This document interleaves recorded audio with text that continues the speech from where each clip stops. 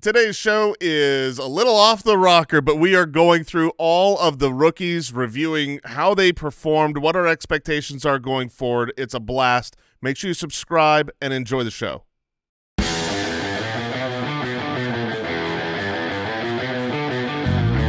Welcome to the Fantasy Footballers Podcast with your hosts, Andy Holloway, Jason Moore, and Mike Wright.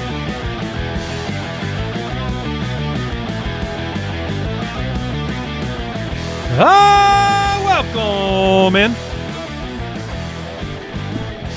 What? Oh, man. Jason wasn't paying attention. That's why that happened. that happened because I I was afraid of what Jason was going to type. and that it was going to Ah. ruin the intro to the show. Oh. So somehow it made me force So I ruined the intro to Yes, the show by a you different being way. afraid that I would ruin the intro to the show because of what I was typing. We were we were here. We've got a show we're going to do. We're all excited for it. I hit the button. The show starts going.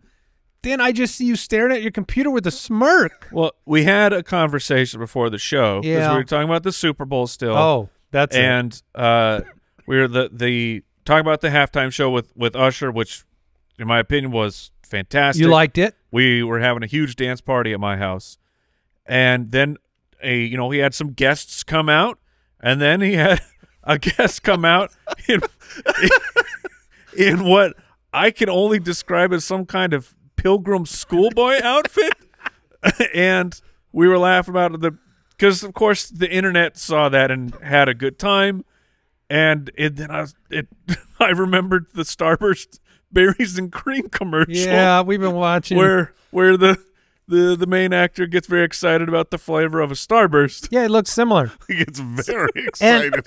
By the way, that was not the only. Yeah, and everyone thought it was CeeLo Green, but like miniaturized. Um, you know who else had a very very entertaining?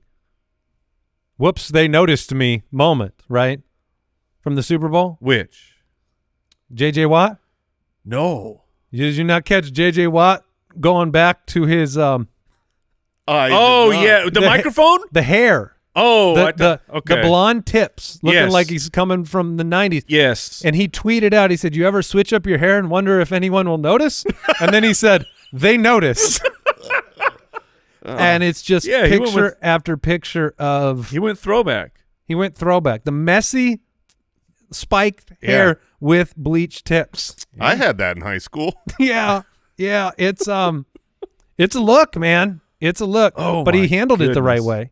Oh my goodness, we're sharing the pictures right now. Yeah. So um there you go. That's what we were laughing about. Welcome into the show. Yeah, it's he's in uh, O Town. Yeah, it's um, it's a look.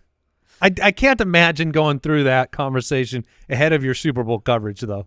Well, you know, just Like, just play it safe, man. just probably the like what it will now be have been the most viewed Oh yeah. uh program in American history.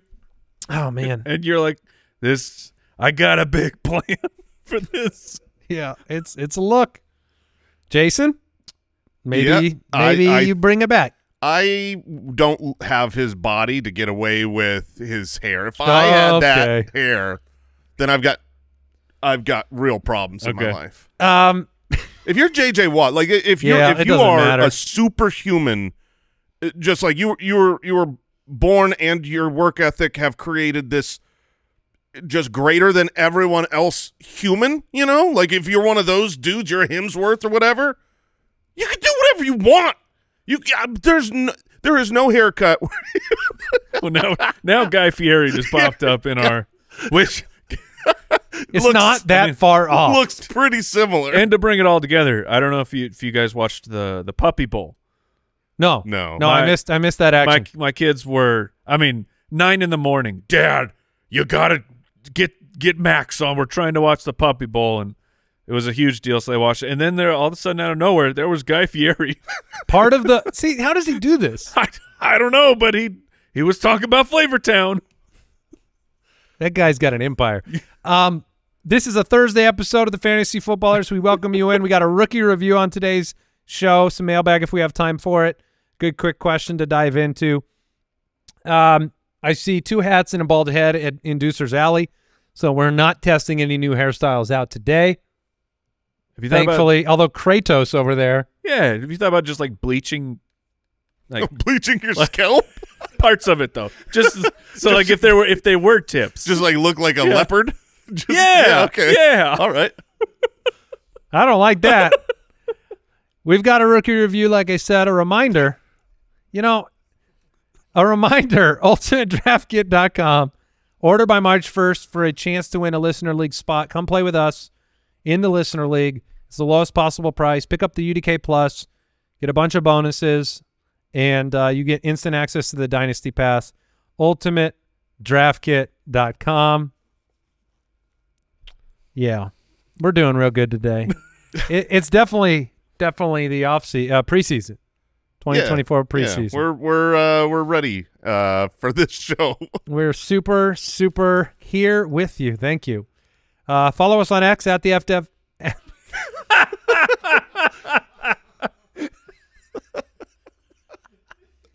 um, yeah, follow us. All yeah, right. we're you, somewhere. you know where we Here's are. Here's the quick question.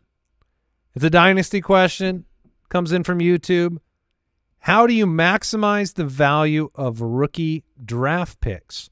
Do you trade them at the draft? Do you make the picks and trade them on off-season hype, right? Like every rookie hasn't played, they could be great. Mm-hmm. Or just keep the rookies on your team and hope they live up to their potential.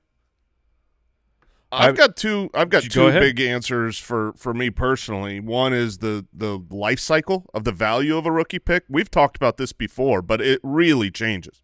I mean, in the middle of a season, when games are being played and you know your start sit decisions are what's on your mind, rookie picks do not have that much value.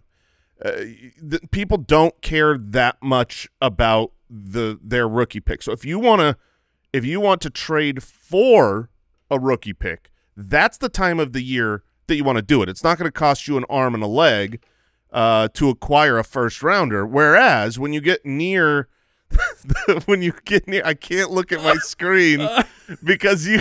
this is this is so wonderful. I don't know what's this is happening. the worst podcast we have ever done. Yes, without a doubt. And I blame other people.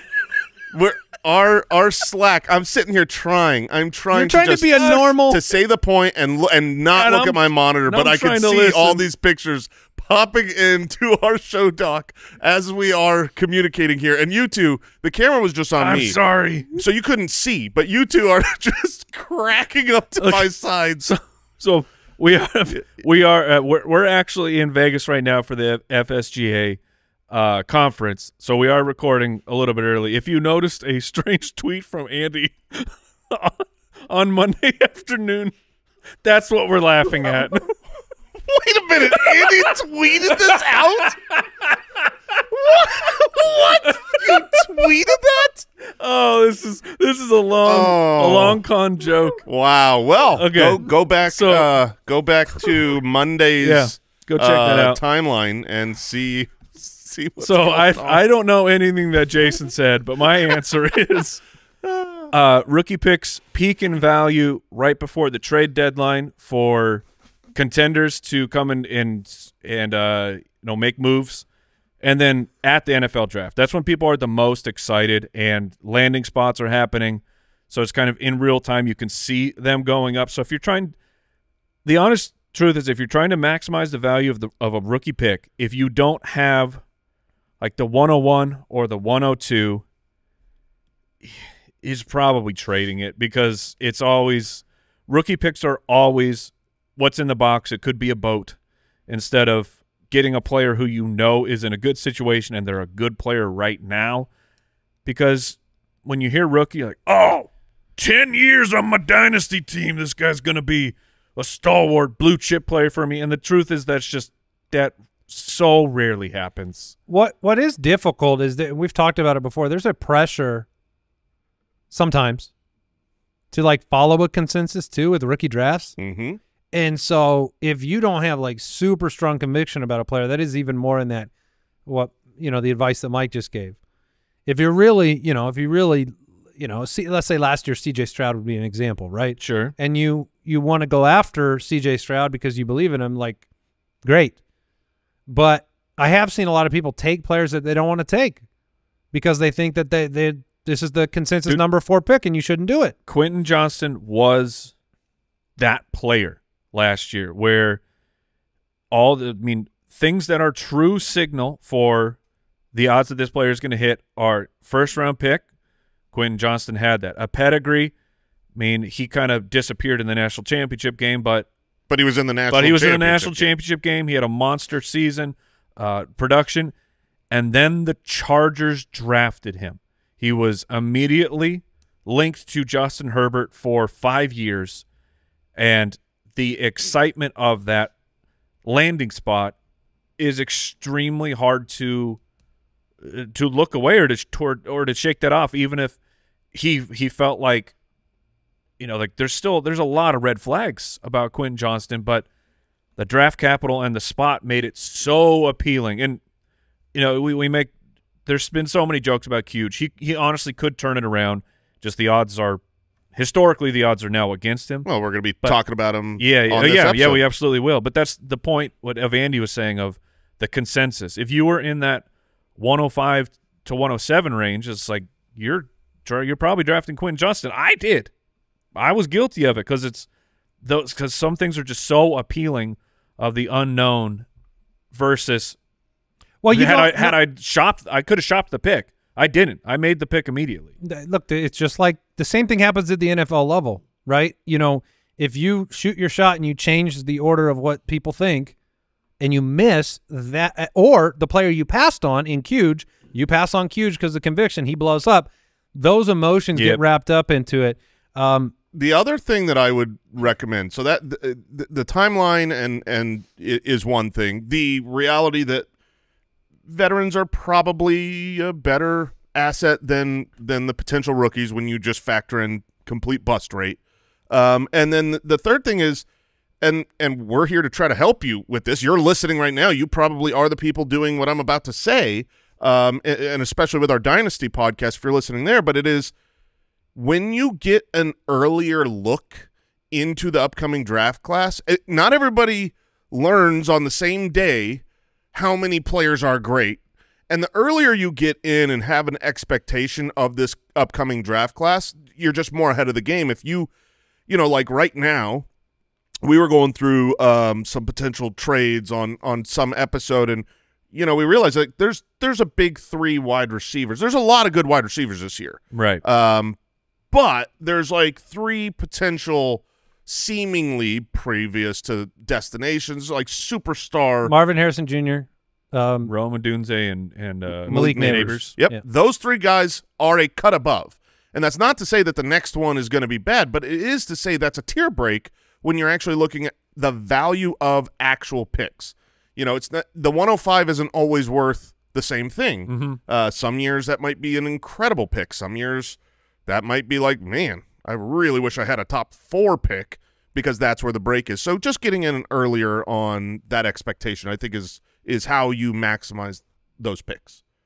Yeah, and uh, you can see all of the team opportunity pages too in the Dynasty Pass to see what teams are uh, have maybe the biggest opportunity for a rookie to make an impact in year one uh, in the UDK Plus. All right, we uh, we're gonna dig into some of last year's rookie class. I mean, it's perfect. We've been talking about Huge already, so let's jump in. Rookie Review. All right. Uh, we are looking at last year's rookie class today and, and who can maybe step up and make a huge difference in fantasy football next season. When you start at the quarterback position, you don't get to start with the best story. Hmm. you get to start with the worst one. And I think there are some reasonable excuses that you could hand this quarterback. However, when you're taking it 101, talking about Bryce Young, Carolina's rookie, where they just traded away their future, you know, they traded away the pick that ends up this year's number one for Chicago. It was as bad as it really can get for Bryce Young. Among 44 first round quarterbacks with 9 plus starts. So that's a that's a lot. 44 of them. His 2.1% touchdown rate is the fourth worst. It's fair to say he did not have anything close to elite weapons, right? I mean, this Sure. is um Hey, wait, what? yeah, yeah, thank you.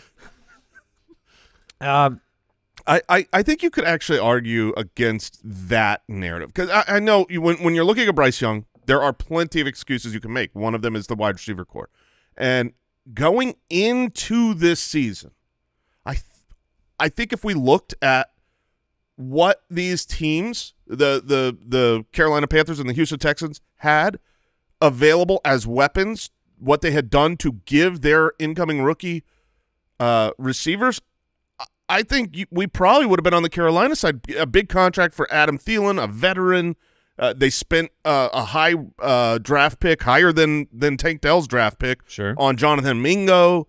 You know, it's like in hindsight, now it's like, well, Nico Collins and Tank Dell, they're awesome. But it's like that wasn't how it, Tank Dell was viewed. You know, that's okay, I I think that's Yeah. fair. I mean, yeah, They gave Maybe- Miles Sanders a bunch of money. Yeah, yeah. Um, I guess they added Schultz in in Houston, but it's, it's not that different. It's not that different. But you know, you you lost a head coach. Frank Reich was brought in to be the quarterback whisperer, and they lost him in the middle of the year. Um, Hayden Hurst came out and said he believed that Bryce Young had too many voices in his ear. Um, it's hard when you do have a lot of change, when you don't have um, I, I, I don't know. I, I don't know if he can redeem it. Like we've seen quarterbacks that are drafted this high, and there's a shell shocking that happens the first season, and and they're not the same. Yeah, the the best example of overcoming it that I can remember is Trevor Lawrence, who his rookie season was abysmally bad. Uh, it, looked like uh, some of the numbers that he that he had were numbers you didn't think you would really bounce back from, but he had the Urban Meyer crazy, insane organizational struggles there. They had the quarter, Which is, I mean, yeah, and so you can. I mean, that's similar. You lose a quarterback after one year, right? or your Head head coach. coach. Yeah, I, second lowest PFF grade under pressure, but was under pressure forty two percent of the time. Didn't have separators on the outside. Didn't flash a lot. Had opportunities to make plays, didn't make them. It will be hard to trust any wide receiver in Carolina for a while. Yeah, Yeah. and I and I- you know you've got to you've got to make your call on players on what you believe in them when you're playing fantasy. Uh, the reasonable take here is to say that Bryce Young still has a chance to be good, but if you have to make your call on whether that will happen or not, so that you can trade for him or trade him away or or you know bypass him in a startup draft or draft him. I, I do not think it's going to happen for Bryce Young. Trevor Lawrence still hasn't been that great as a 101 bouncing back, and he has actual traits and things. He's got a, a you know a great athleticism, a rocket arm, uh, things that Bryce Young just doesn't have. What Bryce Young was supposed to have is incredible accuracy and just the intellect of seeing the field, and those things didn't happen in year one. when we were doing the uh, our dynasty startup rankings, which you can grab in the UDK Plus, I had a really difficult time with Bryce Young because it's this feels very Zach Wilson, where rookie year you can wa- watching Zach Wilson. It was it. This isn't going to work. Like this will not work. But but then trying not to be too quick to bury the number one overall pick, which Zach Wilson, I he wasn't. I get it, but he, he- like Jason, I think you're saying of you got to make the call because right now he's in startup is number 19 for us, and I I don't know, is that being just too cautious and saying no, you just we got to dump it, move on, move on for fantasy. I always want to see flashes like we did with Lawrence, even in his bad season. Like we did with Will Levis this last year. Correct. Yeah, which will I mean CJ Stroud, Anthony Richardson, Will Levis are the next three names we'll talk about here reviewing the quarterback position. I mean, you go from the lowest of lows in Bryce Young, the contrast between Bryce Young and CJ Stroud is so profound that like on a normal year, you know, if you took CJ Stroud out of the picture, okay, Bryce Young struggled. Anthony Richardson got hurt quick, not a factor. Will Levis flashed a little bit, wasn't good after that. Like Bryce Young in that landscape, we're not. It, it doesn't feel as bad.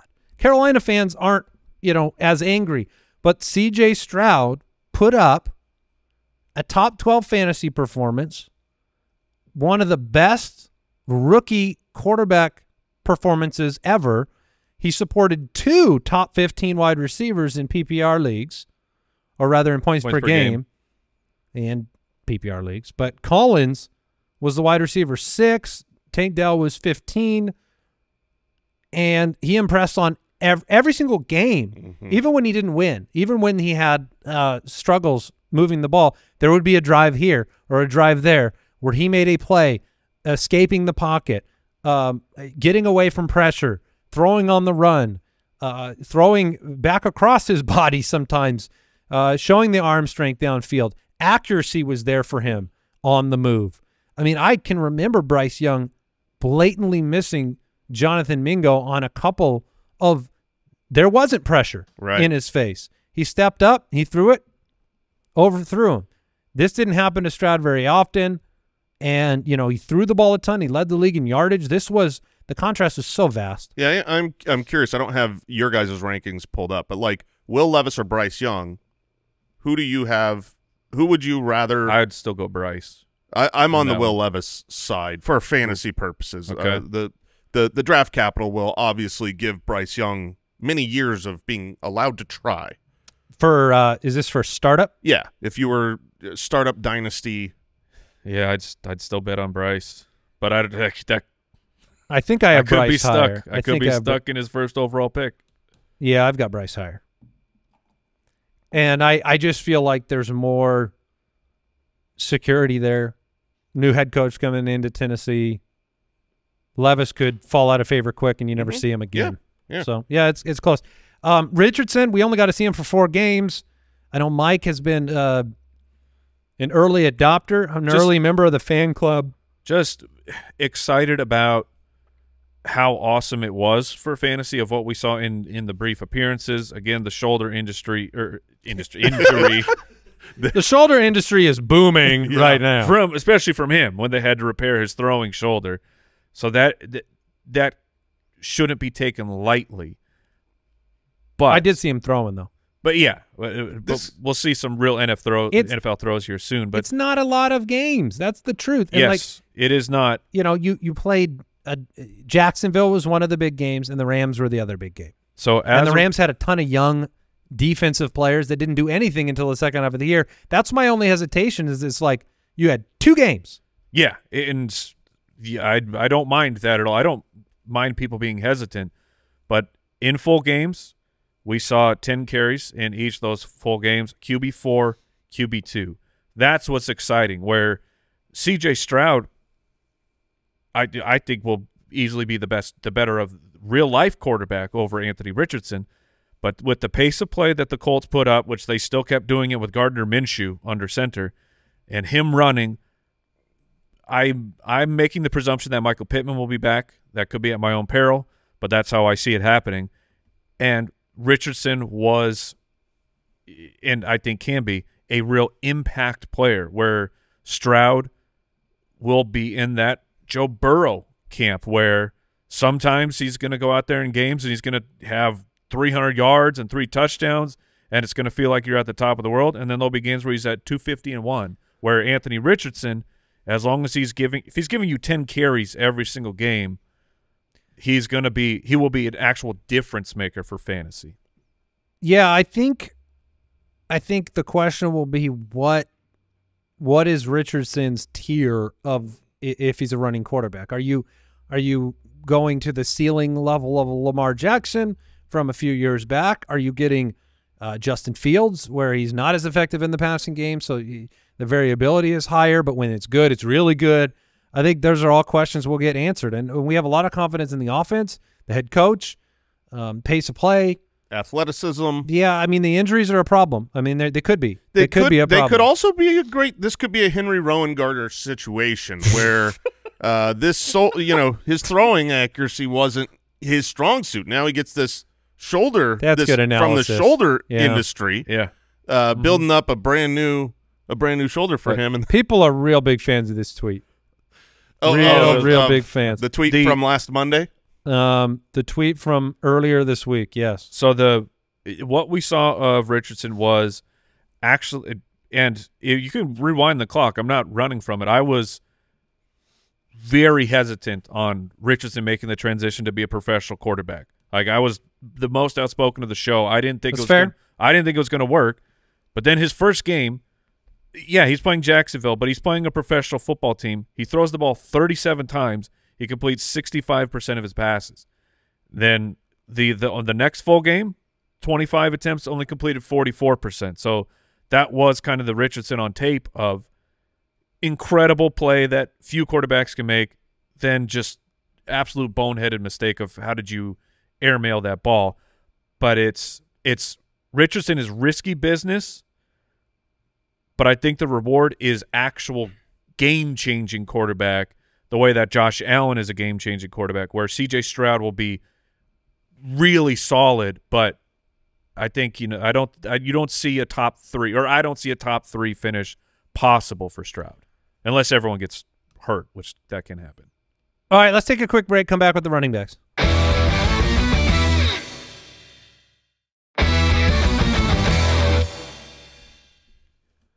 All right, let's jump into the 2023 rookie running back review.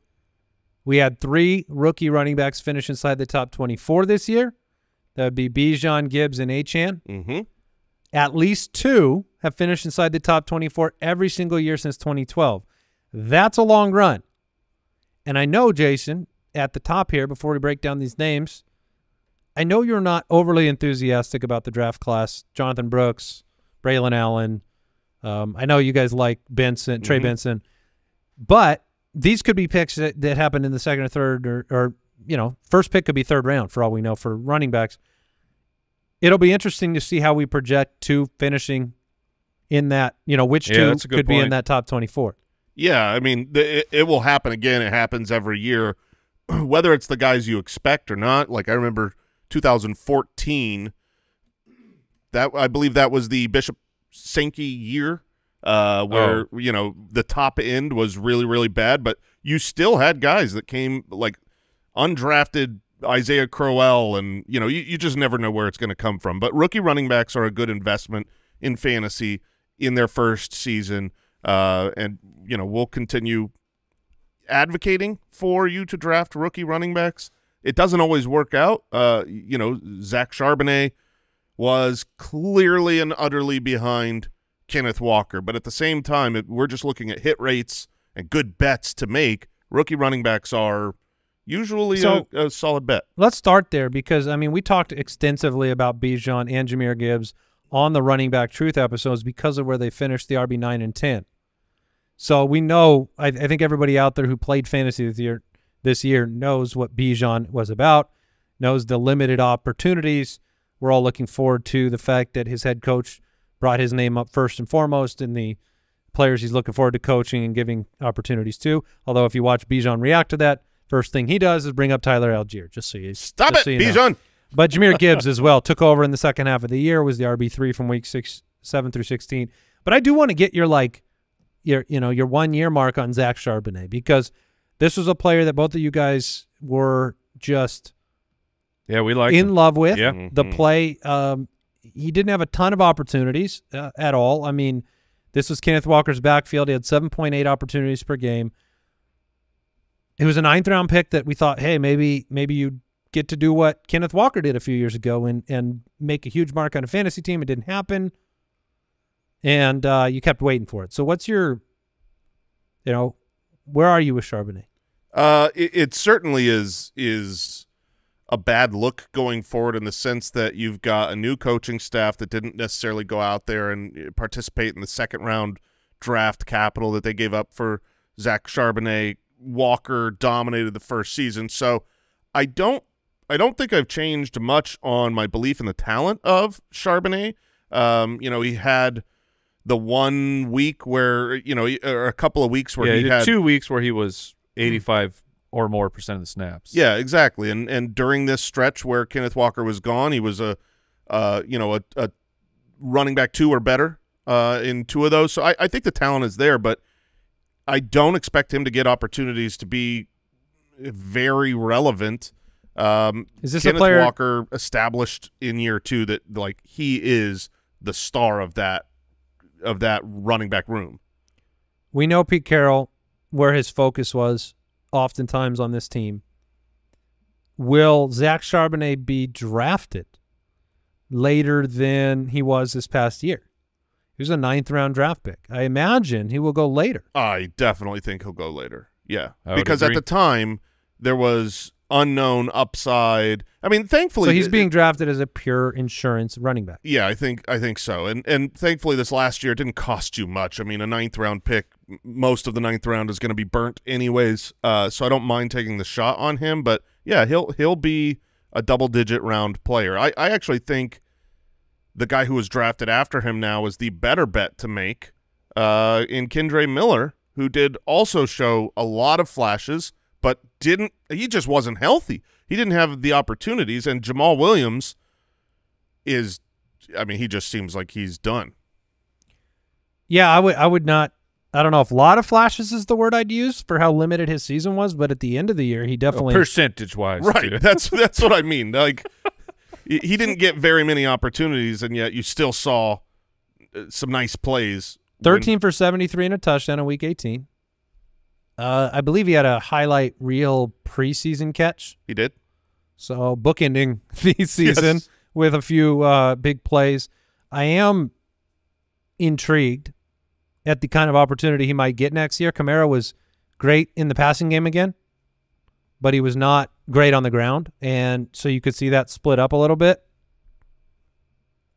I think, I think it's a gamble. I mean, I think I think it just comes down to what the expectation is for the team in Kamara. He's got two years left on his contract and a cap hit of 29 million in 2025. So I doubt he hits that if he plays that season. The I would agree with Jason in like this upcoming year.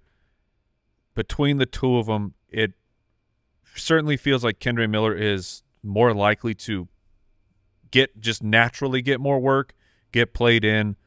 He has the older running back in front of him who, um, I mean, you know, guys never want to leave the field, but I'm sure Alvin Kamara would be like, yeah, sure, I'll, I'll take a rest here or there.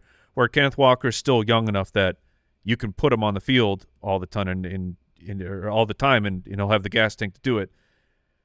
What will this Saints team be is difficult, but I, I still believe in Kendre Miller, the talent. Um, you know that final week, the final uh, one. It's one play, but again, one play out of uh, what? How many carries did Kendre Miller actually get? 40 or something? 40, 41.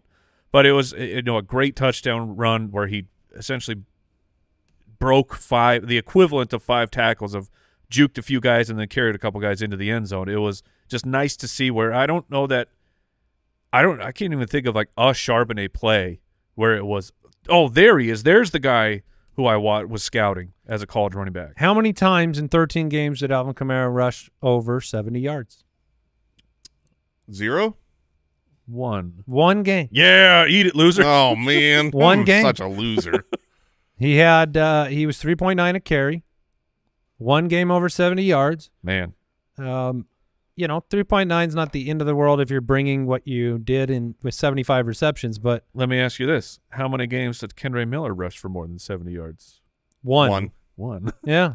So I I do see the possibility of that backfield maybe transforming sooner. yeah, Yeah, the the age of Kamara mixed with the washed nature of Jamaal Williams. Jamaal Williams still had 126 um, opportunities, so I, I don't think he stays ahead of him on the depth chart. A lot of people want to know what to expect from Tyjae Spears. I'm one of them. Third round pick. finishes as the RB 35. You 100 want- carries. You want to know what to expect? Yeah, Okay. yeah. I, Well, wanna, you- so you're the right man for this job. I, I mean, look, you you don't anticipate Derrick Henry's going to be back. And 52 receptions last year. Yeah, he he's uh, a very good uh, receiving back. They have no one else there on the depth chart, so we'll see what they do this offseason. But you could have a situation where he is just the guy. Feels a little like we were waiting for Rachaad White not to have the job, That is exactly the name. but we all expected Tampa to get a running back. They bring back Fournette, take one in the draft, take one in free agency. Mm-hmm. No, no, no. As of of the receptions, Tyjae is one of 15 running backs, rookie running backs since 2013 with 50 or more receptions, and that was kind of like one of those highlight stats for Rachaad White, saying it, it, it might be a value in the draft, whether or not he is a a good player, which I think Tyjae Spears is is a good running back. He just he has a a knee problem, so long term it's not great. But if they, he, they already trusted him, like this guy was out there, fifty plus or more percent of the snaps in twelve of seventeen games. You know, four point five yards per carry, over fifty receptions as a rookie. It it's really good, you know, really good signal here that Tyjae Spears, if he gets the job, that he'll be all right for fantasy. The team at a team level, it's going to be rough. But that might lend itself to help him even more. it could. as a pass catching back. Yeah, I mean, the, Yeah. no Vrabel, no Henry to, and quarterback situation is a mess. I mean, Yeah, how many how many rushing touchdowns did Derrick Henry have? I'm gonna pull that up real more quick. than two. well, I look, I don't, I wouldn't be Twelve. betting on that. Yep. Twelve, but I'm no, I'm just saying of like if in this current season there was plenty of those touchdowns that that Spears could have converted. I think that's your ceiling. Your ceiling would be a Rachaad White type of season. Well, that would be an incredible ceiling. Yeah, I, I mean, but it's it's possible if he was the only guy there. Your floor is bad. Yes. Your floor is they draft somebody, they bring somebody in, the offensive philosophy changes, the team never scores any touchdowns. Um, Tyjae Spears is is the Michael Carter. That that would be your that's that's your bad scenario Yeah, because Michael Carter had a pretty okay rookie season, and Yeah. You know the Jets are the Jets, and It- so And usually you want to bet against sub 200 pound running backs. Tyjae Spears not a big guy. So, you know, you, you would expect them to say, oh, maybe this he's a good complementary back. But if he was the plan to succeed Derrick Henry um, in, in the short term, he'll be great. And you've got to you've got to make that bet because it's uh, very risky. The the floor is low, the ceiling is high. I'm betting on Tyjae Spears. I I liked enough of what I saw both in the NFL scouting time and on the field where I'm I'm in on Tyjae. if I could trade him in a dynasty, I would. So you I would try to capitalize. I would try to capitalize on him being alone right now. Sure. I mean, yeah. Be- long I'm term- I was, afraid. I was speaking more in redraft of like If this coming alone. season. How do I view him? Because uh, Mike is right. If you're talking dynasty, he still has the concerns of his longevity with his knee. He, he's going to burn bright, and then probably be a light that goes out. De'Von Achane. It's quite the quite the story. It was a fun story. It was a it was a weird one. um Lightning bolt, you know, 100 carries, 800 yards, 8 touchdowns. Those numbers don't really make sense together. Like 100 carries shouldn't be 800 yards. Seven point eight yards per carry. Uh, 37 targets, 27 catches, 3 touchdowns through the receiving game, so he was double digits. But missed multiple times this year with injury. Um, you know, we knew that the the end couldn't be as good as the beginning was for the season. The first three, you know, three, four, five weeks, three, four, five were amazing. Slowed down a little bit, right? If he didn't hit the big play, you were disappointed. Yeah, but he hit the big play a lot. Looking at this, you know, long run of the game: sixty-seven yards, fifty-five yards, seventy-six yards, forty-five yards. He had a lot of home runs, and that's just that's the ability that he has, and and also matched with this specific offense and the system, McDaniel, and the speed of of Waddle and Tyreek. It's just really, really hard to always be able to bottle up a player like this. But even without those big giant breakaway plays, it seemed like most times he touched the ball was just like guys couldn't get to him fast enough. And at his current age, he's 22 years old. I I I think you know you're you're not yet to his prime. So uh, I am in love. Okay, so we've we've got a sliding scale, Mike. There is Love Okay. on one end of it. Um, I, you know, he, I di- he didn't read any of the the lower weeks in terms of production, um, which he did have, but we all know he's one play away. I Mostert will be back. What round is is Achane drafted in this coming season? Third, third, sec- yeah, yeah, around the two, second, third. two three turn. I don't. Uh, my, here's my one comment. I wouldn't want Achane as my as my running back one. That's my that's my thought. Not the archetype that I want for my RB one. I don't want a player that can go out there and get seven carries, nine carries, seven carries in a game, eight carries in a game. Not not my. Now I'm not saying I wouldn't want him as my two. That'd be awesome. Little freaked out as my one. Yeah, I would love him as my fourth. All right, Even better. you're real funny. Thank you. Uh, how are you going to do that? I'll trade trade for a lot of running backs. Oh, He's just he's I just thought there was like a. he's secret- just making fun of the fact that I'm secret like, if you plan. could pick your perfect world, Yeah. I think you're going to have to take him. I mean, if you go RBRB, he can be your two. There you go. Yeah, There's your world. I'm in though. I'm in with Jason. So he finished at uh, what was he in points per game? I'll try and figure get it that out. for you. Uh, I, he'll be a good he'll be a good discussion next year. But it's Players that have those kind of breakaway one, runs, you know, is he C, is he Chris Johnson? right. Um, is he CJ Spiller? Is he Jahvid Best? That'll Well, be interesting. He was fourth in points per game, behind his teammate Raheem Mostert. Uh, Raheem Mostert was third at 17 points per game. De'Von Achane was 16.1 points per game. And Yeah. while yes, that does include the 49 point explosion, it also includes two games where he scored one fantasy point. I think it'd be fair to say 7.8 per carry is not going to happen, right? I'm Right. not sure why you'd say that. But after that run, he was at 5.3, and that can happen. 5.3 is hmm Jamaal Charles, right? Which is a good comp for him. Yeah, uh, if he can stay healthy too. That that's the risk. Is it's not. It wasn't a good season that way. Preseason, two in-season injuries. That doesn't concern you for your Uh, love. it- I mean, it it concerns me a little bit because Break of your his, heart? because of his size.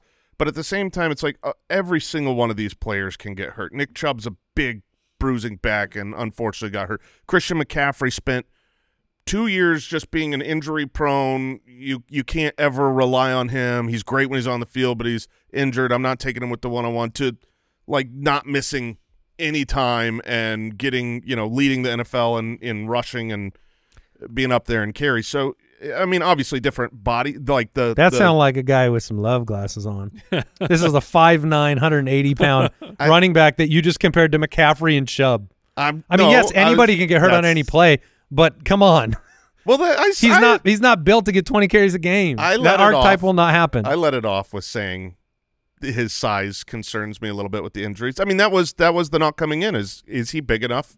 and what was yeah? I mean, what was the answer? The answer was he was awesome.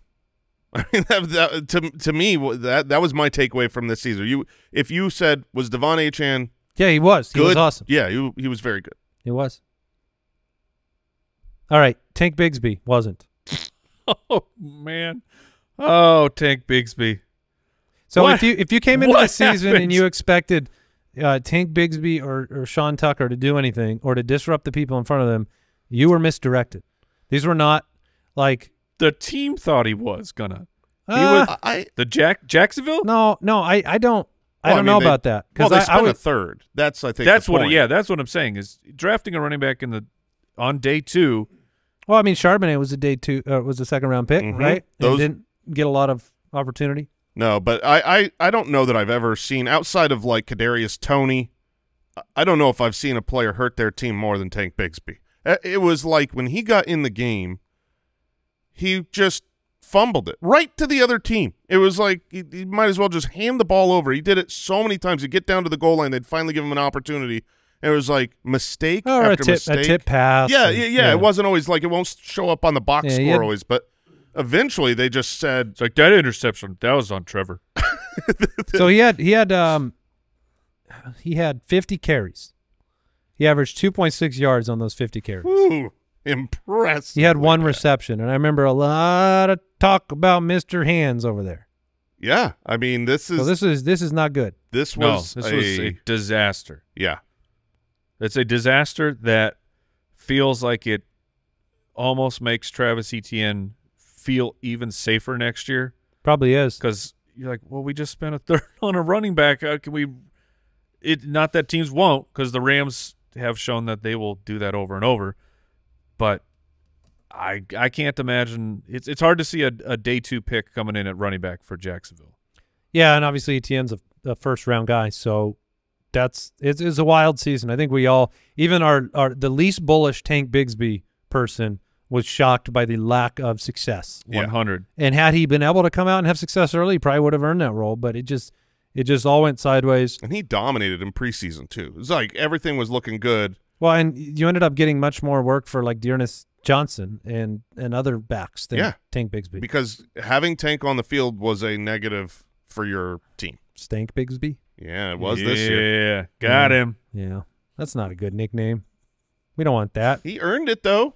Okay. I mean, you you know, you get what you deserve. Hey, Stank, get over here. Last one we'll talk about at running back is Roschon Johnson, who had opportunities this year. Um, 81 for 352 and 2, 40 targets, 34 receptions. That backfield is up in the air. hmm I would certainly rather have Roschon than Tank Bigsby moving forward. What about him versus Kendre Miller and the opportunities you see for both of them? There's that's a really interesting comp because there's no world where Kendre Miller usurps Alvin Kamara as the starter and just becomes like, hey, you are the running back one for this team. Whereas Roschon could easily be the lead back next season. Um, you know, there's a lot of question marks in Chicago. I don't think we have enough information right now in February to say who is going to be. We don't know the quarterback. We don't know this running back room. They ended up hating D'Onta Foreman after good performances. Yeah, something weird happened. That was super weird. So we don't we don't know. But what I do like about Roschon is that there isn't already someone spectacular ahead of him, and he did show flashes from time to time where it was like, okay, that was th- that was a good NFL game. Well, Herbert will be there. I'm not. I'm not saying you're wrong saying that Khalil Herbert isn't sensational, but Khalil Her- like basically everything you just said about Roschon, you could say the exact thing about about Khalil Herbert. Hundred percent. I'm just saying that's not Alvin Kamara level. It's to more overcome. like yeah, it's more like Ty Chandler and um, Mattison yeah. going Yeah. into a season where both guys have an opportunity. They could secure the favor of the team. Roschon was good through the air, um, 4.3 a carry. It you know didn't see a ton of him, but um, we'll take a break. We'll come back. We'll talk about wide receivers.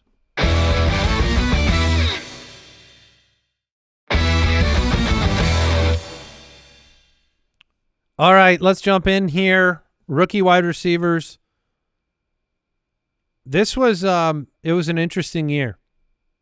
You had we've had an average of 3.7 rookie wide receivers per year finish in the top 36 for fantasy.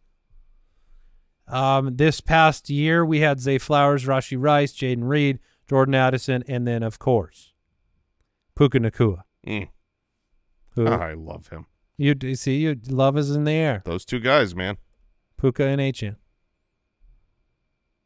Maybe maybe it's because I drafted them. Uh, yeah, I think it might be because you drafted them.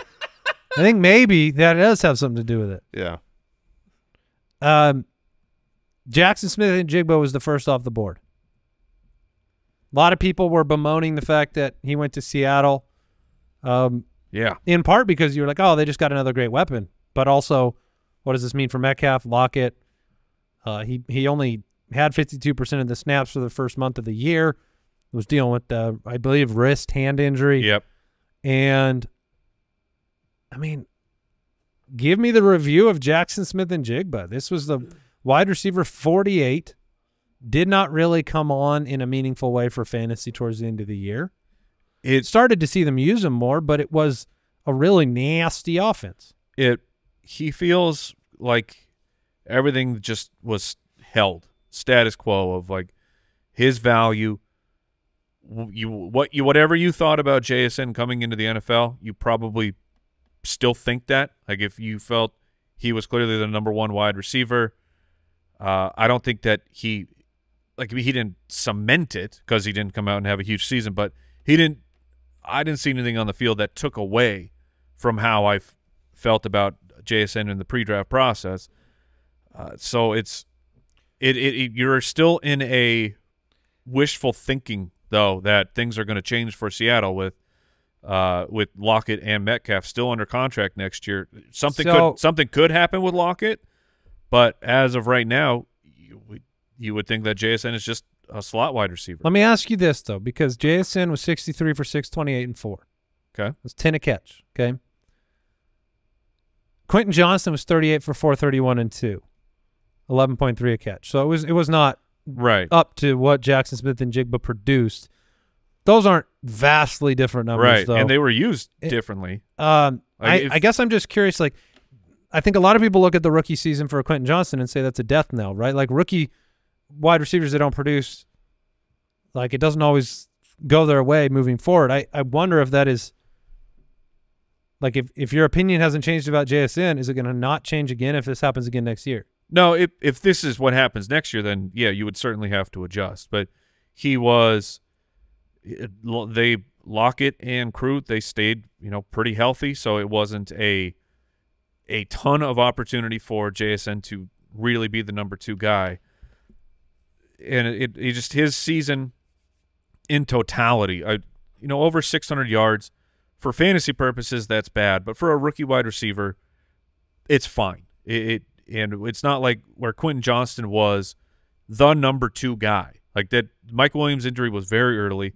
Huge was thrust into an opportunity that maybe he wasn't ready for, but he he he he failed in his opportunity. Where JSN to me didn't really fully get the get the 29. opportunity yet. 29 of his 63 receptions were behind the line of scrimmage. Yeah, that's when you noted his yards per catch. I was going to say they were using him. That's if- almost 50% of all receptions were behind the line of scrimmage. Yeah, it, it's unacceptable for fantasy purposes. Obviously, there's going to be a change at Yeah, that's coordinator. Rondale Moore. Yeah. Uh, Yeah. and the change of coordinator. If you if you haven't seen the clip of JSN talking about, uh, there, someone was asking for for Bears fans, like, hey, what do you what do you think? We're you know we're grabbing your coordinator.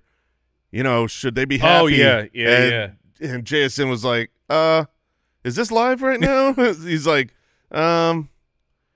he- well, he's a good guy yeah, it was like, whoa, he did not like the offensive scheming there. And I think that's a big part of it. He didn't look bad to me. So I'd agree with with Mike in the sense that like when what he did was okay. However, I've cooled a little bit on him. I thought, you know, he was a superstar. And I don't know if he is or not yet, but I'm less bullish on uh, you know, on that declaration because my worry coming into this season was he wasn't going to get enough snaps. And yeah, the the scheme was dumb and they used him behind the line of scrimmage and and hopefully that changes. But he still got a ton of snaps. averaged sixty four percent of the snaps. There were let's see here. There were 6 games where he was over 70% of the snaps. And here was his fantasy points playing 70 plus percent of snaps.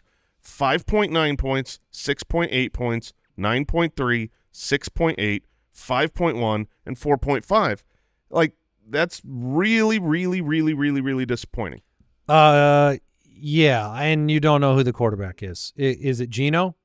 We'll know in a few days. Right. Is it Justin Fields? Because Seattle's a top trade candidate for Justin Fields.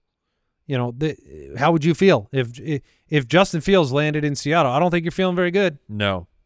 Because you've You're got not. multiple. You wouldn't feel good about any of those guys. If I'd feel Ju- good about Justin Fields. yeah, yeah, if Justin Fields Maybe. got traded to Seattle for DK Metcalf and Tyler Lockett, I'd be I'd be fine with it. that would that would make a difference. Quentin Johnston. Um, Wouldn't that be the ultimate trade move to make as a GM? You want to prove that like the the quarterback isn't good, that that Fields isn't going to have it. Trade for the wide receivers. oh, you're saying give Fields nobody? Uh, yeah, like take like- away his weapons in the trade? just to prove that he's not going to come on and be this great quarterback. Like, oh, I, I- I would trade him to Seattle, but they've got these great wide receivers who look so good. Well, we talked about that's very funny. That is very funny. Uh, uh, it kind of felt, yeah, yeah, it felt like that. What was the Russell Wilson trade with with Denver, they lost Noah Fant, right? When he went over there, Yeah. hmm it felt like condemnation for Metcalf and Lockett when that happened. Quentin Johnston, 38 for 431 and two. Um, first round Yeah. wide receivers with zero top 24 Yes. finishes as a rookie since This- 2014. This is the list. the list is Josh Dotson. Uh, you can say the word bust after these. Okay. Uh, Josh If you- Dotson. so you want me to weigh in and say were they an NFL bust? yeah. Okay. So Josh Dotson, That's a that's a bust. Laquan Treadwell, That was a bust. Mike Williams, That's No, not a not, bust. Not a bust. Not a bust. bust. John, uh, John Ross, Bust. Bust. N'Keal Harry, Bust. Jalen Reagor, Bust. Bust. um, Say the next one. Quentin Johnston. I, I'll, I'll say this though. Guess what? Um, Mister Jaxon and Smith-Njigba wasn't far off of this. He had a QB. He had one one. I think he had two. Our uh, wide receiver twenty four finishes and a wide receiver twelve. 16. He had a, Oh, a 16. 16, a 24, and a 24. Yeah, so I mean, he was not. He's sliding in there. Just saying. That's three, something I'd three is better than zero. Well, yeah. I mean, I I guess by the skin of his teeth, right? How far off was uh, Quentin? What were his big games? I will pull that up for you. Let's see. I, do, I, I just speaking to Quentin Johnston's 28, 25, and 31. That's not far from JSN. No, that's not far. So look, dynasty wise, but that's as a full time player. That's the difference. dynasty wise, yeah, full time player with backup quarterbacks though. Mike Justin Herbert was gone when, when did Herbert get hurt? during the year. Also, you say Uh, Herbert was hurt in week 14. I would maybe be trying to move on from Jason. Is all I'm saying in I, dynasty. uh, yeah, if you if you want to do that, I think you can still get tremendous value. yeah, that, that that would be the time to. So he uh, Herbert would have been around for the, the Detroit game, the 38 to 41 loss. I'm if not you, saying If you look at weeks four through thirteen, okay, that's post Mike Williams, and including Herbert, right? That's All right. I think those are the important games where you go, okay, what was his opportunity and what did he do with it? He played sixty six percent of those snaps, and his season long pace it's as bad as it gets. would have been a grand total of four hundred and eight yards on the season from Justin Yeah. Herbert. Yeah. Fewer than Yeah. forty receptions. it, was, it was awful. It was as bad as you can get. Yeah. It, it's terrible. Um, you can't trade him. You have to hold him and hope it's better. That's yeah, your 'cause you the philosophy. You can't get. Can you get anything for him? Um, huge? You cannot. No, no, it's not actually. not allowed. not the, the platforms aren't. I believe Laquan Treadwell is the only trade candidate that you can get. Uh, but he does have Herbert moving forward. But if you try real hard, you could get a second. you just have to like keep at it. Yeah. Yeah. Hmm. Would you trade Quentin Johnston for a second rounder? I think the way you could do that is if you say, "Would you trade him for a third? And then when I say yes, you go, "That, that was a second, right?" right. And then if You I say, "Would you accidentally trade him?" say yes, What you do oh, is Oh, you, you you you message the person not in the system and say a third. They say yes, deal. Then you send the trade offer over. Yeah. With a two in there. There will be no problems. No problems. And then when they accept and later they go, wait, wait, wait, I thought it was a three. You said, oh, no, I, I didn't like that compensation, so I sent that offer. You That's saw how it. you do it. Would you rather have? I mean, Huge will have Justin Herbert.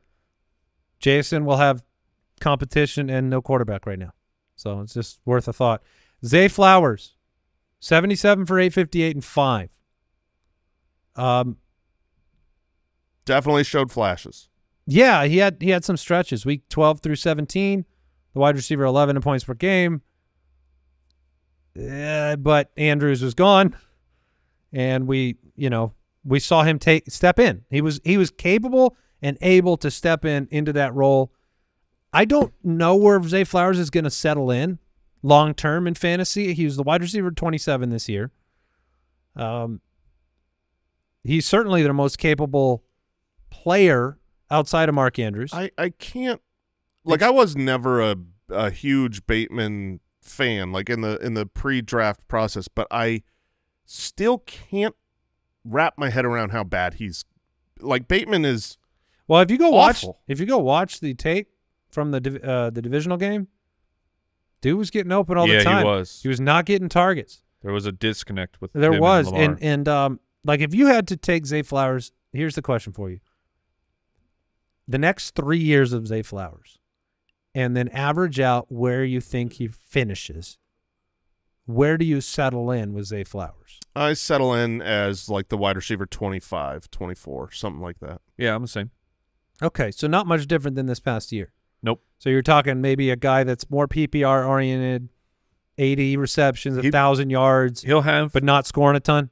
yeah, not scoring a ton, and he'll have a, a couple weeks where I mean, you saw it with the the broken play in the playoffs of Zay and and the week before against San Francisco. Like, if I'm remembering that right, but Zay Flowers is very he's capable of hitting the big play, but it will be just a few spike weeks here and there. I brought him up on the Dynasty podcast about a month ago of someone that I'm I'm willing to listen to offers of for Zay Flowers, and it's not that it's not because he's going to be bad. Wide receiver 25 ish is in a dynasty league.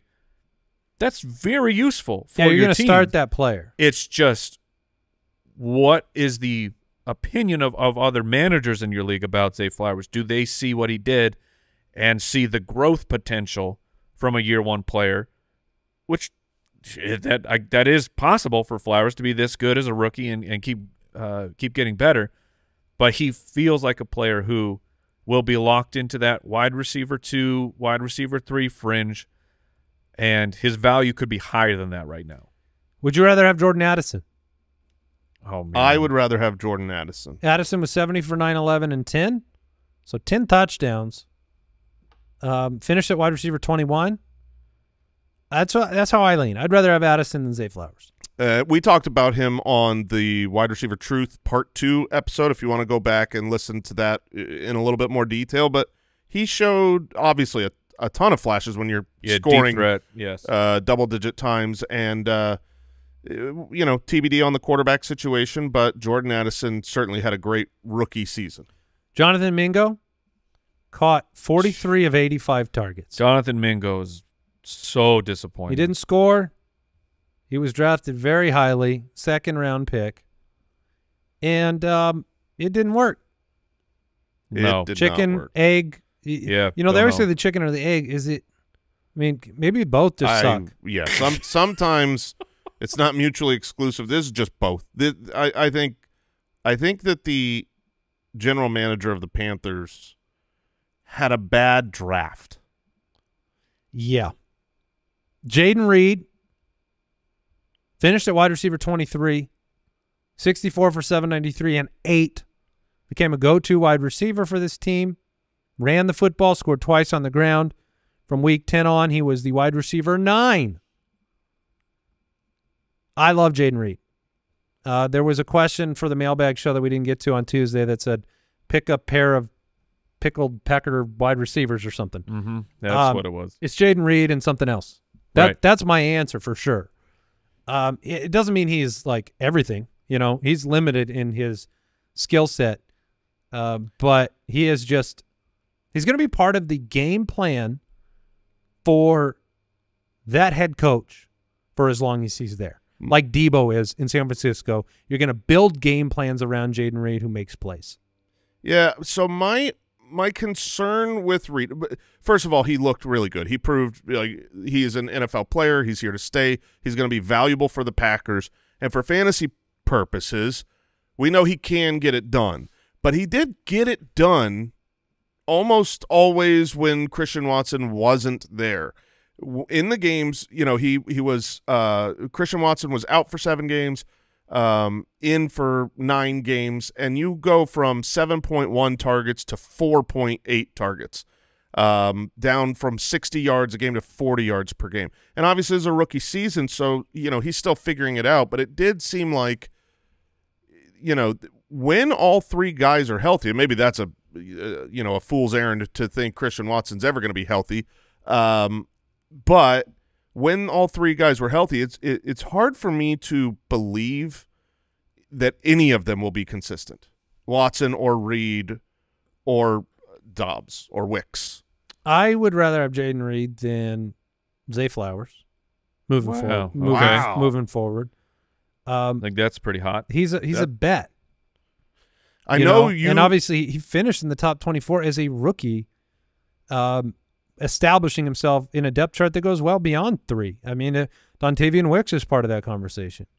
Yeah, And you saw other players that come in and make a mark, and you had you know Musgrave and um, Kraft, and Mm-hmm. and like to me, Jayden Reed's just going to be built into your game plan. It's not going to like if you asked me the same question that we did about Flowers, and you said, "What is he going?" to Wide receiver twenty, you know, wide receiver eighteen. I don't think he's a top twelve type of finish guy. I mean, he he looked good. He finished the season strong, which is always what you want to see. You know, you want to see as as the rookies go along, are they getting better down the stretch? You know, you saw that with Amon-Ra St. Brown, his rookie season, just catching fire at the end. And and you know, there's questions as to whether or not it was because his opportunities were higher without Christian Watson, or whether he just leveled up. But I I know that I can speak to while watching games with Andy, the amount of times Andy just gushed over what he saw from Jayden Reed. He's- yeah, and he's not on any of my teams, Yeah, uh, so my just- love is unbiased. He's genuine. This is our day after Valentine's show, and so this Sure. this episode's about love. Jayden Reed Good is point. extremely difficult because he was, he, d- despite all his greatness, he was still a slot wide receiver. Like he, two wide receivers, it's not going to be him. Like it will be, it will be Dobbs and it'll be Christian Watson. You saw it play out in the in the playoff game where Jayden Reed. I think Jayden Reed was catchless in the first uh, playoff game. I'll, I'll double check that. So that that's that's why it's so difficult because when he plays, he's an excellent player and can be a focal point. But then there's just times where the the, the focal point is actually he's not on the field because he's not in this package. Sure. Yeah, and he dealt with that stupid chest injury over and over again at Yeah, the he end of the year that he was playing through. Rashee Rice, uh, Tank He's- Dell. Dude, R- Rice is extremely difficult too. Super Bowl champion. Yes, he is. Uh, he took Bowl- advantage of of every opportunity that he was given, so he didn't fail at any point. Right? Like there wasn't. It wasn't like huge where it's like okay, step up and then you disappear. Like he became their primary receiving option. The hardest part with Rice is whether you you go sell that to enticed two-time Super Bowl, you know, f- fans of Patrick Mahomes, realizing that this team is going to potentially make a significant splash at the wide receiver position.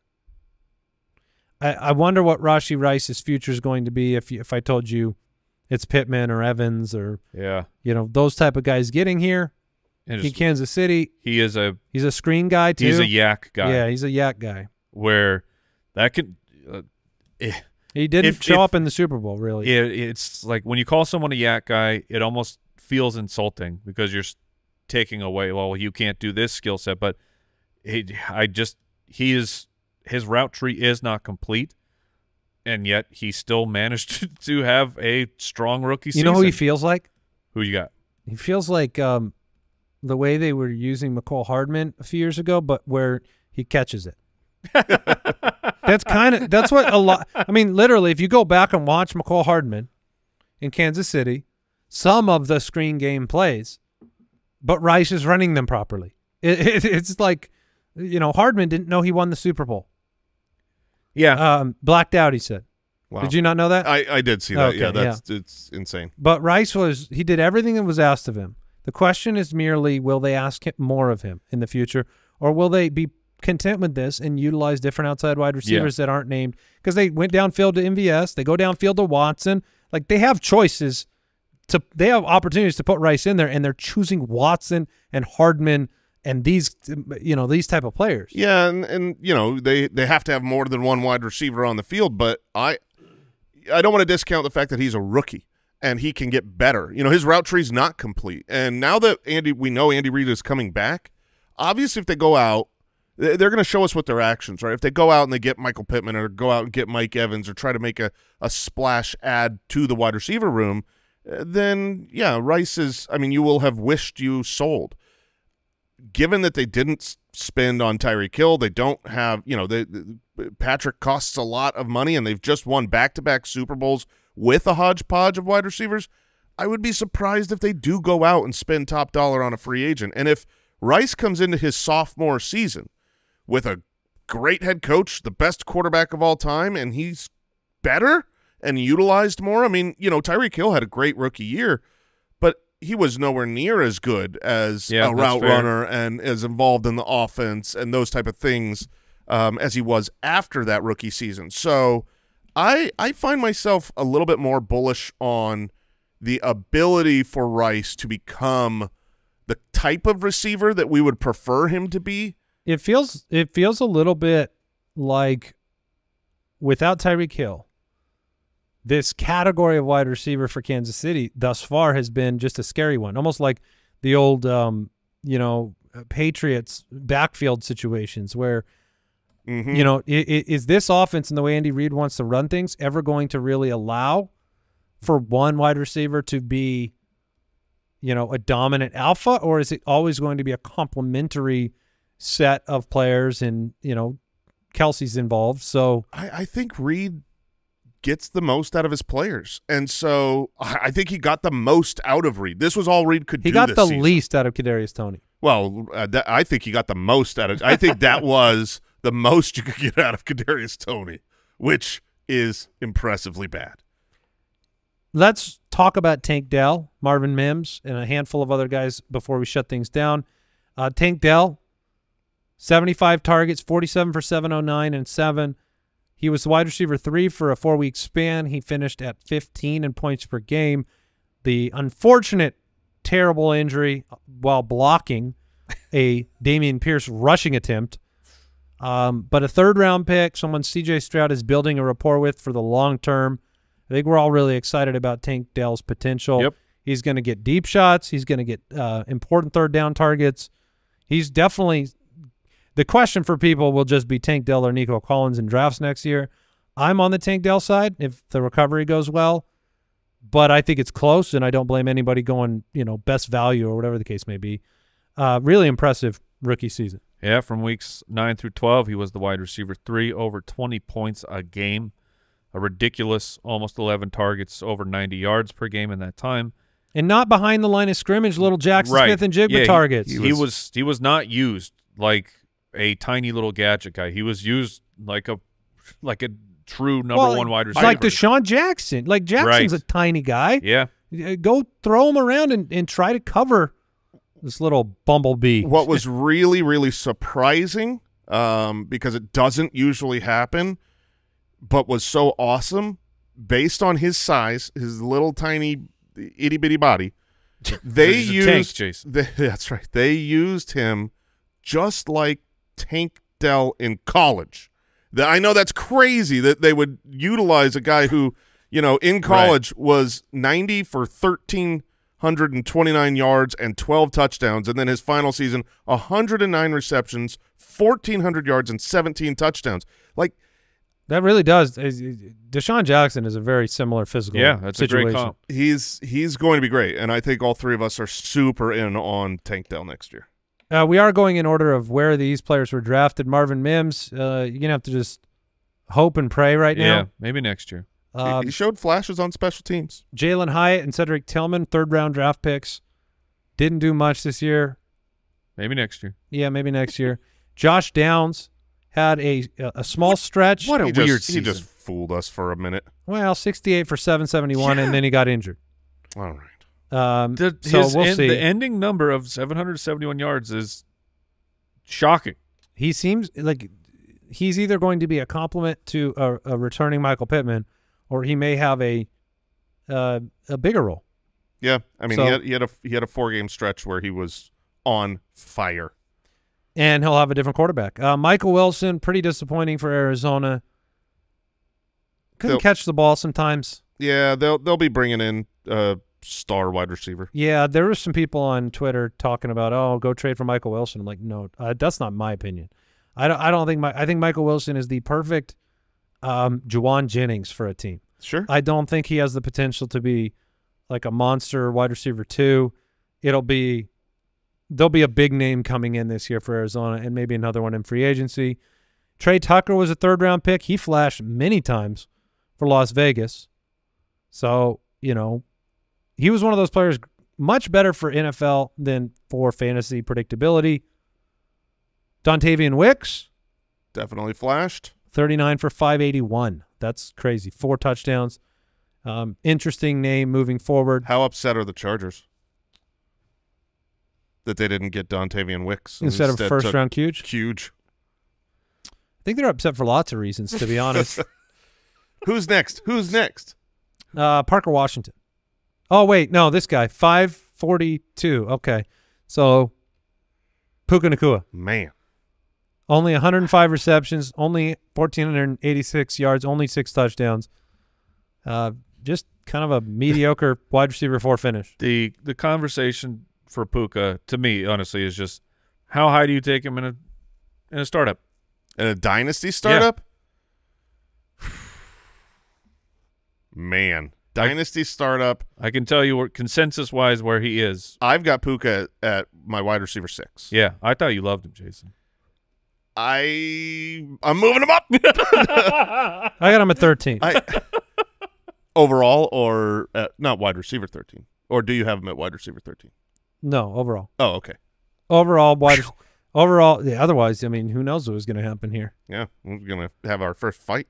Mm-hmm. But it's it it's unbelievable to go from a fifth round pick to be easily easily no matter what the argument I think people would say top 10 wide receivers just how high how high up do you go? Unbelievable. Yeah, I mean, we've talked so much about him, especially on wide receiver truth episodes. Yep. So, um, other uh, players that flashed briefly: Trey Palmer uh, of Tampa Bay, See- A.T. Perry for New Orleans. Trey Palmer is an interesting name. I, it doesn't need a whole bunch of conversation analysis because you need things to shake out right now. But if Mike Evans lose or uh, lose, if he leaves, and it just it feels no inside information, but feels like the team is like really disappointed with Chris Godwin at where he is now. Trey Palmer had a ton of college production, doesn't have draft capital or anything like that, but he just he is a name to just keep in the back of your head is maybe like if you're doing a trade and you can get a Palmer as a throw in, I would do it. Breaking news. I mean, it's not it's not breaking because we Matt. we recorded this on Monday, Yeah. but like Mitch Trubisky is a free agent, guys. Oh man. Wow, wow. Yeah, it's a big deal. Number uh what number 2 overall pick? That well, traded up. Traded up to yeah, the yeah. number So, I'm two. so sorry. It's- Demario Douglas uh, was very good. Six round pick for New England. Pop. Had a good chance, Especially uh, good opportunity. The quarterback play. All right, rookie tight ends. Dalton Kincaid was the first off the board. Um, he had a, a hot streak, week seven through eleven. Was the tight end three during that stretch. This was when Dawson Knox was out, and then when Dawson Knox returned, it slowed back down again. But seventy three for six, seventy three and 2 I'm- That's a nice year. Ninety one For- targets. For a rookie tight end, that is a fantastic season. He showed enough to have full confidence that he'll be more and more involved. Uh, he's going to have a, a very good career and hopefully breaks out into being a top fantasy tight end. So Yeah. we have another really valuable asset. if he finishes the tight end five next year, you would be uh, I would be happy. I would be happy with that, and I and I think he will. Sam LaPorta finished as the number one tight end. Second round draft pick, 86 Wait, for wait, the, eight, the number one rookie tight end, Yeah. No, Jason. he broke all the rules. All the rules you've set for them. the number one tight end, yeah. outscoring Travis Kelce. Yeah. And he'll be the number one off the board next year in fantasy. Yes, he will. So, uh, unbelievable year for LaPorta. You you heard us talk about him in the Truth episode. Um, so, we won't dig in too deep. If you want to hear more LaPorta breakdown, you can go back to the tight end Truth episode. Do not sleep on Michael Mayer. Michael Mayer No. is, a, is a very good player, and just because Las Sam, Vegas Raiders. Las the way. Vegas Raiders uh, rookie tight end.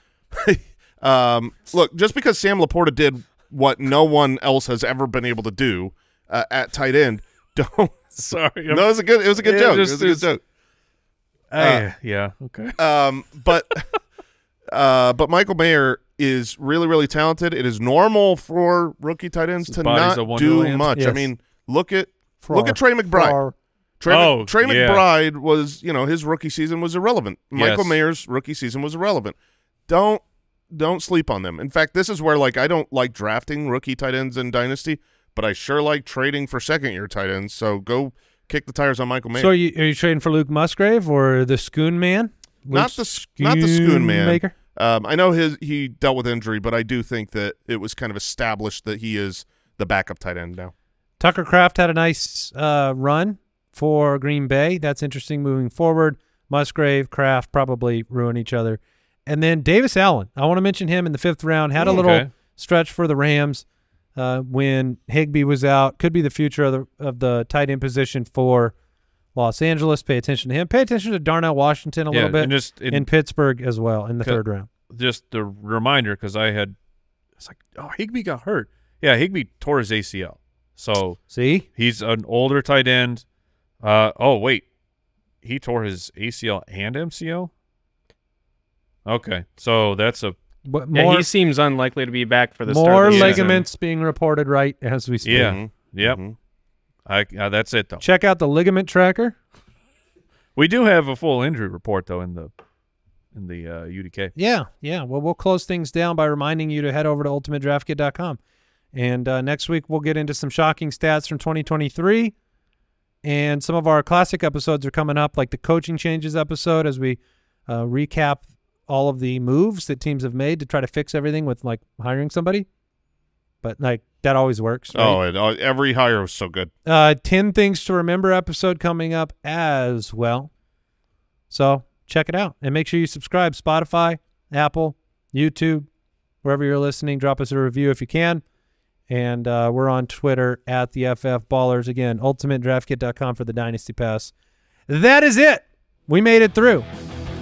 And uh, go back to Monday and go to my go to my profile on Twitter, twitter.com slash Andy Holloway for a live feed image of Jason. Goodbye.